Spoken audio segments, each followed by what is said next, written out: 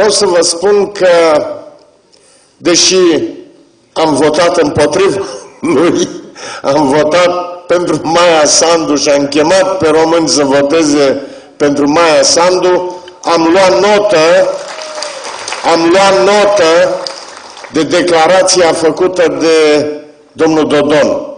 Astăzi am văzut-o în presă, în care și-a mai diminuat elanul spre Uniunea Vamală și spune că va întreba poporul dacă să meargă spre vest sau spre est. Iar eu îi dau un sfat de aici, de la Chișinău. Nu mai pierde vremea, ia-o spre vest, că asta e direcția.